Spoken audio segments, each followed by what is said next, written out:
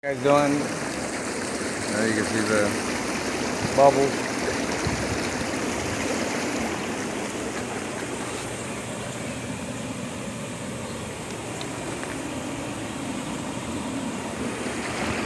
It's still filling up.